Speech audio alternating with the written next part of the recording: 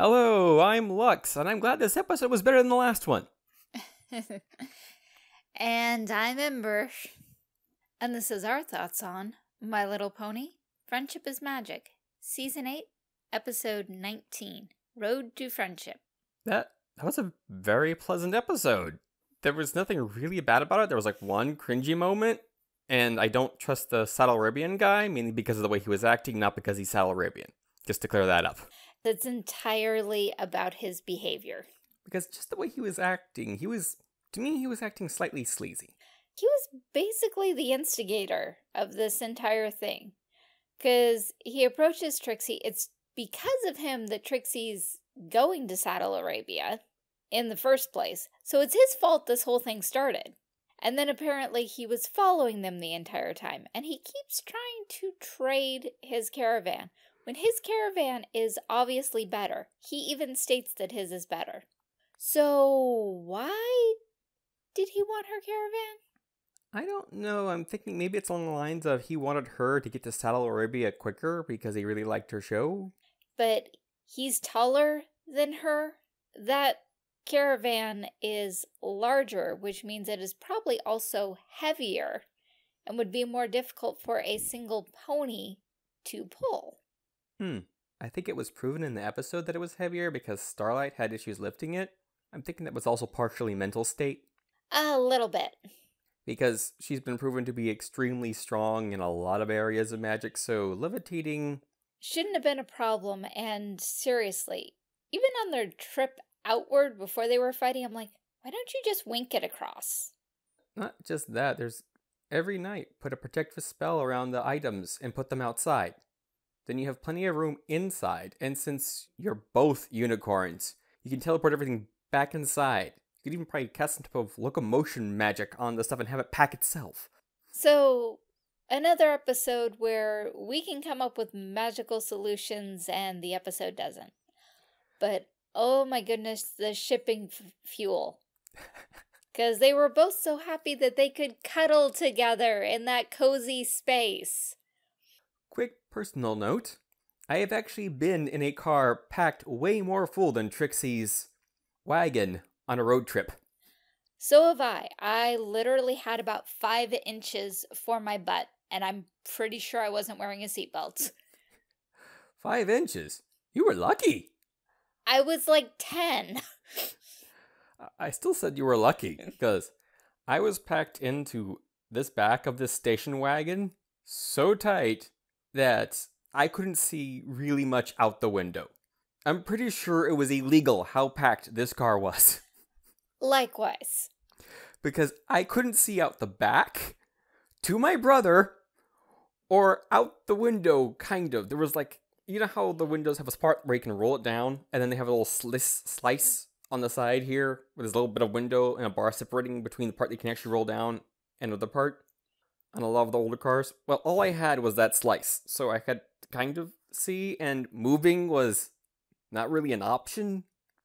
I was seatbelted in though, because they did that first before they packed everything else around me. I'm trying to remember, with it being that crowded, how I would have been able to have a seatbelt on. I'm not saying I didn't have one, I'm just like, how would that have worked? And I'm pretty sure this was before the back seats on a lot of station wagons had the cross seatbelt I'm pretty sure this is the one that only went across your waist. So that's another factor. We, we kind of know how Trixie and them felt. This was also a long road trip for me, by the way. This was from California to New Mexico. Mine was across state lines too. Also, I'm surprised we didn't get stopped at the border because we were carrying plant material. Wow. From someone's garden. Wow. At least it's not bringing uh, ham back from Canada.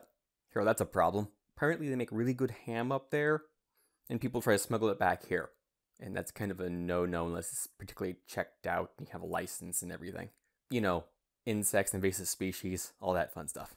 Yeah, well, we're having all sorts of fun stuff with various species infecting various crops and all sorts of quarantines.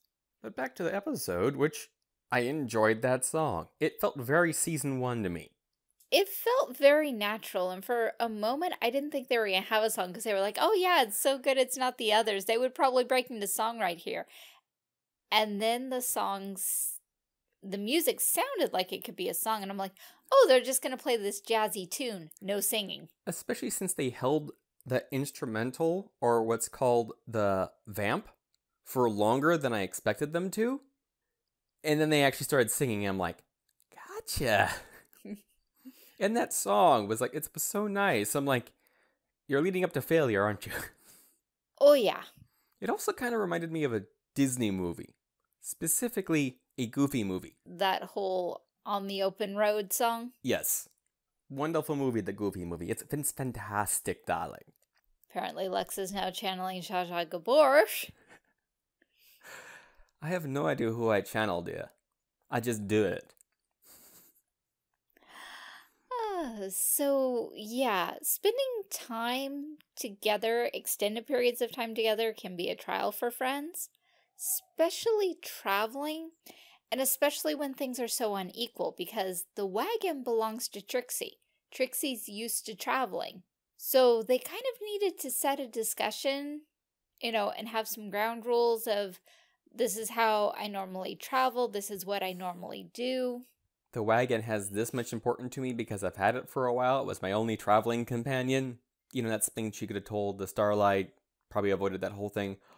I can understand Starlight not knowing how valuable the wagon was, but it's still like, this is just a dream, right?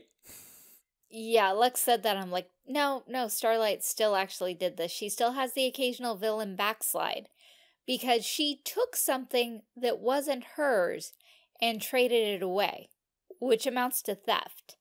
And then she compounded that by taking the new caravan with her when she and Trixie had their falling out. So not only did she steal Trixie's caravan and sell it, she kept the new caravan that she got by stealing Trixie's. When I was watching her drag the luggage, I also got a flashback of Trixie does not trust wheels. when Trixie went evil. Well, more evil. More, um. Antagonist? Yes, as opposed to uh, murky and lurky evil. Also, really, if you think about it, she wasn't really evil in the first episode. She was definitely portrayed as an antagonist and a little arrogant, but she wasn't really a villain. I was thinking specifically of the episode where she had the dark magic object. I, I was saying that going from that to that was more evil. So yes. I'm correcting that it's not evil. She was just becoming more of an antagonist. And she was being corrupted by an evil object. But hey. Well, that kind of stuff happens. Especially in the MLP universe. Yep. Even relatively safe seeming objects like Princess Cadance's heart necklace. Hmm. Check the book about Twilight having that necklace when she first becomes a princess. Hmm. I haven't actually read that book. We have it around here somewhere. I just haven't really read it. I'm not much of a physical reader. I like to listen to my books. And there's me. Oh, there's a book on this table. Three hours later. she's if it's a shorter book, she's read it three times and going, you know, I'm not quite sure why I've read this three times, but Ah, but back to the episode because there was a lot of nice stuff in here. This could very easily tie back for any younger viewers with sleepovers, you know, and respecting each other's space and people having different ways of perceiving things and processes. Also, I, I was wondering if the whole thing with the wagon also went back to when Trixie became evil and she started hating wagons and wheels specifically. Maybe she really learned to appreciate wheels and how easy they make things to move. Quite possibly. Also, it could be a small hint of backstory, because we don't really know much about where Trixie came from and stuff. No, and that exposition of how, you know, she's had the wagon forever and it's been her only companion through all these lonely times. Because, yeah, Trixie hasn't had a lot of friends. Though I was a little disappointed when she was having her fight with Starlight and she said, No, I lost my caravan and my best friend. I thought she meant the wagon and Starlight because Starlight betrayed her. Mm. But she was actually talking about the caravan. I like my interpretation better. So I lost my most precious possession and my best friend betrayed me. Hmm. That's a good interpretation. I didn't really have an interpretation for best friend, but I think my brain locked on to her talking about the wagon first. Then I was trying to think of like, what's another way you could interpret this? And that's a very good way of interpreting that. And the the cringy part we're talking about is um God, I can't really remember because I think I was like cringy part. it was when they were doing the performance when they were fighting and sleep deprived. Like, could you guys at least fake it? If you're not going to get along, why are you putting on the show? I, I do like the Saddle Arabian though. It was much better in Ponyville. It was because they were well rested and getting along. Also, it was very fun in Ponyville. I liked how everyone in not only enjoyed her performance, but how things with her and Twilight seemed to be pretty much smoothed over. And that reminds me of another thing I enjoyed from the episode that we were both like, they're gonna. They didn't. Because we got to see once again the sunshine, sunshine, Ladybug's awake.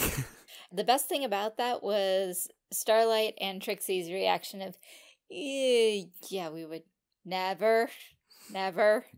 Mm. And then there's that scene where, show me something special that shows you're you are good friends. And they're like, yeah, we've got this secret dance, don't we? Yeah. yeah, this magic chant that we do all the time, our friendship chant because we're such good friends. And I figured, and Lex figured, they were going to totally do Twilight and Cadance's chant. They kept the cadence of it. Pun intended.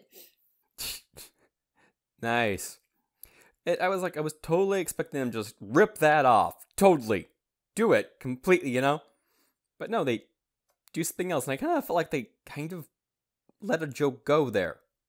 Like they fell flat on that joke, but I see the other joke there and I appreciate that. But I'm like, you, you kind of set something up and you didn't go through with it. but it did get the desired end result because the Saddle Arabian was hell. Yeah, you guys are definitely friends because you would not have embarrassed yourselves that much if you weren't. Therefore, trade back. I also like, I can wait as long as you can. Basically, that thing. And I just, that whole section with Trixie was great because she's like, I am not moving. and I'm like, uh, the road is wider than you are, Trixie. I'm pretty sure he can go around. Also, he's a unicorn. I'm pretty sure he can levitate the caravan over you. I think it's the only time I really kind of liked him as a character is how he was interacting with Trixie there. Just the mm-hmm sip. Other than that, I was like, he's he's a bit sleazy. He's not setting off as many alarm bells as Cozy Glow, but he is setting off a couple. Hmm. Interesting things come up in Google image search for Cozy Glow. Not those kind of things, internet, but a lot of people apparently do think she's evil. I mean, it's kind of hard not to with the first episode. And a lot of people were also following our thing of, in that one episode, like, yeah, it's Cozy Glow who gave away the book. Because as a student, she would have a school book, you would think. A lot of people seem to think that she was the one responsible. We've got bigger theories. You can find those in our previous episodes. Please go and watch. Did my plug succeed? We have power. Cool. so, yes, fun episode and nice to see some of those locations because while they were traveling, I'm like, oh, I kind of remember that place. Oh, I kind of remember that place. Cool. Continuity. And I love how they made us forget about the guy in the trunk. Because I had completely forgot about him until it opened up. I was like, oh. oh, we never did see on stage that they let him out. You're right. There is enough room in this trunk. It's nice. Is it o- is it over? Eh. Kunk. Eh? Uh, like, does that now technically count as kidnapping? Eh. Also, just to check, why are you guys picking the older ponies? Because in Ponyville, you picked Granny Smith. Apparently, didn't tell her enough about the trick because she would have been game based on their time in Las Pegasus. Hmm. And then on your road trip, you picked another elder pony. I would think if you could get away with it from the parents, foals would be easier to cram into the trunk. Hmm. Also, I love how I got to see some of how the trick works based on how bad they did it near the end. because Trixie was still walking up the stairs. Because they had the timing with the smoke bombs off. Because, no, she was never in the trunk. Ever. She could have been. Who knows? I mean, she is a s- stage magician, but I'm pretty sure she has some actual magic, not just levitation. Don't know about winking, though. Have we ever seen her wink without another unicorn who can actually wink? Uh, No, she's very weak in terms of pure unicorn magic. Hmm. It's mostly stage magic that she focuses on, and even then, she's not the best illusionist. I still think that particular pony at Las Pegasus is like related to her in some way. Maybe not her father, but maybe a brother or something to her father. Meaning an uncle? Yes, that. That word. Just checking. and possible, and there are all sorts of internet theories and fan art of the various possible relationship trees there. Hmm. So, anything else you'd like to go over about the episode, or should we wrap things up? Well, it was fun that uh, Cadance and Flurry Heart were there visiting. Oh, yeah, the cute part at the beginning. Oh! Yeah, where Flurry Heart's like, I can't watch! Which is adorable. Yeah, especially with how much uh, Starlight was playing things up. So over the top of, oh no! Was like in Little Witch Academia, where during the big final battle, the one senior witch is playing it up as a performance, going, oh no, the heroes are having this trouble. You must help them by doing this. When inside she's thinking, oh god, they're having trouble. Okay, I need to get them help now. That was the second Little Witch Academia movie. We still need to watch the TV series. In our infinite spare time, you know, when more current series go on hiatus, And maybe we'll get to some other shows, older ones. Maybe. Ever. Free time. We would love to actually go back and watch some of the older shows we liked when we were younger and talk about those, but we got plenty of other shows to watch. But yeah, this was an extremely enjoyable episode. It wasn't like the best episode ever, but it was very comfort food. What do you think? it was solid. I mean, it didn't have a lot of cringy moments. Didn't necessarily move the overarching plot along, but it did have character development and good lessons. I'd also like to point out that, you know, the return of Starlight's green couch, and also like to point out that while one can be good at counseling others, it doesn't necessarily mean that you can go through and sort out your own feelings because she helped Trixie sort out her feelings. She had a line of students that she was helping. Which apparently wasn't a thing until she showed her chops, because before she was talking about how bored she was, how there was nothing going on, and now she's got a line.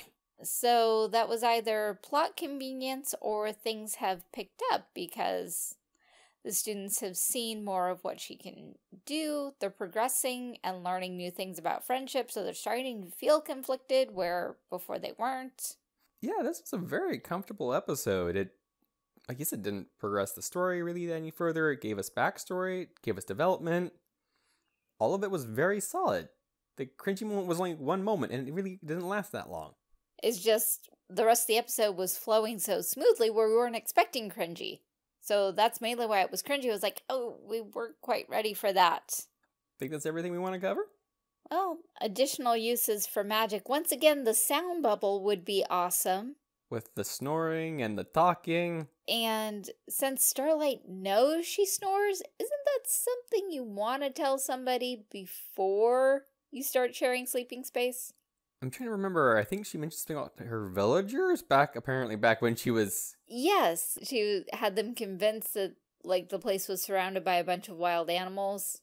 Could be another reason nobody ever left that village. ah, only I, the great and powerful Starlight. Also, I like the Miss Powerful. Um, that's not usually what people call me, but I'll accept that. Yeah, it's like, God, normally I go by Trixie, but I'll take it. Apparently, she needs to get her wagon fixed because she's having trouble with that door. Like, take it somewhere where it can be repaired a little bit so you don't have issues like that. It's an old wagon. It doesn't mean you shouldn't take care of it. then, okay, you've stated that you're on a budget, so budget some for repairs because This is very needful. You're a traveling magician, so not only does this have all your gear, it's your stage and your home. Yeah, and I'm pretty sure there's plenty, especially with the way you've been acting lately, plenty of people in Ponyville who would gladly help you for either cheaper or exchange for skills. Because I'm pretty sure you have some skills that would help someone in Ponyville. Teach them a basic stage magic trick. Give them one of your 50 wands that does the whole wand into flower thing. Or ask Starlight for some help. I'm pretty sure she could ask someone in town who has more skills than her in that area. Yes, because that's something you do. You ask your friends for help, and you do so without taking advantage of them. Okay, outro. Hmm. What is that again? Oh, yeah, the name of the show plus our. Yes, that's it. This has been our thoughts on My Little Pony Friendship is Magic, Season 8, Episode 19 Road to Friendship. And this has been the road to the end of this episode. Hi, glad you could make it. This is not Saddle Arabia, it's a place on the internet. There's many places on the internet. Thank you for coming to ours. And you can help our place stay around by subscribing, watching more videos, liking, sharing our videos with your friends. You probably have lots of friends who would like to come here and listen to a bunch of people talk about, well, two people talk about things they like. You might like our things too. Also, if they just like to watch art, go ahead, mute the video, watch the time lapse. I- I'm okay. YouTube still counts that as a watch. And, you know, if you enjoy that portion of the content, then go for it. Because we do this mainly for Lux to practice drawing. Yeah, and you can put on your own music. I don't care. Watch my video, listen to music, do something else. Let it play in the background. No problem here. You can even just play the sound. Do something else. We're good with that too. Also, if you just want to look at the art in still form, there's links below to where you can find it all over the place. If you want some art of your own, I take commissions, small fee. I give you art. That's how that works. For a monthly small fee, you can also go to my Patreon and get high quality content there. Well, high quality versions of the art I do there. I don't know how high quality the content is. uh, but I'm confident enough to say my stuff's high quality. You'll enjoy it. Because confidence makes the man. Or pony in this case. Or entity on the internet, you know, random floating voice. If you uh, just want to do a one time payment, there's also Ko-fi, because I need coffee. I stay up late nights drawing stuff. You think I play video games? I don't even know what that is anymore. Glad you came by. Bye. And now over to Ember. Thank you so much for watching and listening. We appreciate all of the support that we receive in the form of views, likes, comments, dialogues, suggestions, and of course financially as well. But all of it is truly appreciated. Thank you to all of our supporters, subscribers, etc., in whatever form you choose to grace us with your presence. Or they're making new friends at the school and they're running into problems like, oh, I, I thought you liked that too. Only if there's peanut butter involved. Oh my god, Ember, that expression. I just picked something random and it happened to be peanut butter. Yeah, and I'm like, that was a little too random. I was talking about crackers. Jeez.